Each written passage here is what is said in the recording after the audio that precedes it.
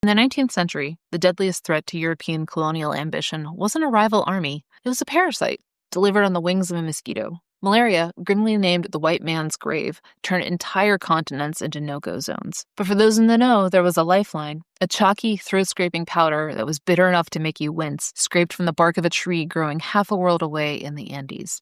On this episode of the History of Plants, we're tracing the story of that tree, cinchona, and the potent chemical inside its bark, quinine. It's the tale of a miracle cure that saved millions from one of history's most relentless killers, and at the same time became a tool of empire that helped redraw the map of the modern world. From an indigenous remedy found in the Andean cloud forests to a catalyst for conquest, And quinine's journey is part medical breakthrough, part colonial scandal, and fully entangled in the legacy of how we fight disease. Malaria has stalked humanity for a millennia, long before we had a name for it. Caused by a microscopic parasite in the genus Plasmodium, the deadliest strain Plasmodium falciparum likely evolved in Africa alongside early humans. And as people migrated, cultivated land, and formed settlements, the disease spread with them, not carried by person to person, but by the bite of an infected Anopheles mosquito.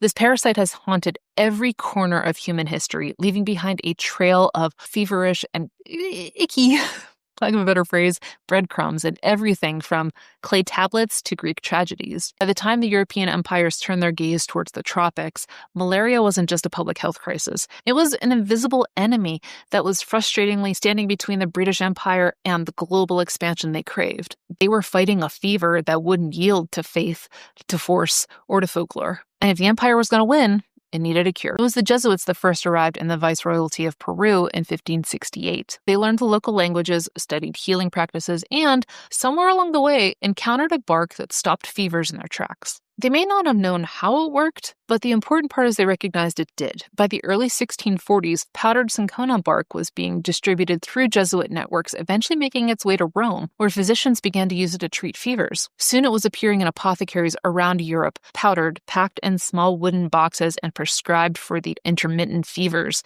that had long plagued the continent. And that made cinchona bark, not just the medicine, but the ability to cultivate and control it, one of the most strategically valuable assets in the 19th century. Empires are fragile, and as war loomed over the horizon, so did disaster. For something that shaped centuries of medicine, trade, and war, cinchona tree doesn't get much fanfare today. Many wild cinchona species are now classified as vulnerable or endangered, not because they've been overharvested, but because they've been forgotten. Cinchona tree has changed the course of medicine, of war, and of empire, but today it's mostly just a footnote.